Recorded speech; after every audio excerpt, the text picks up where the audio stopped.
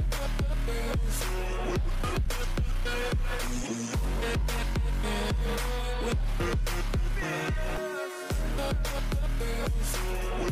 back.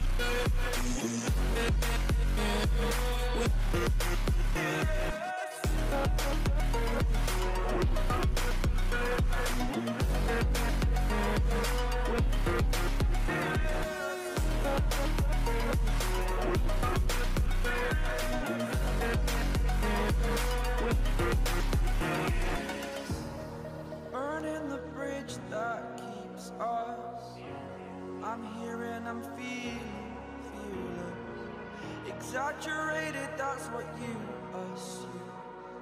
The story's over now, I must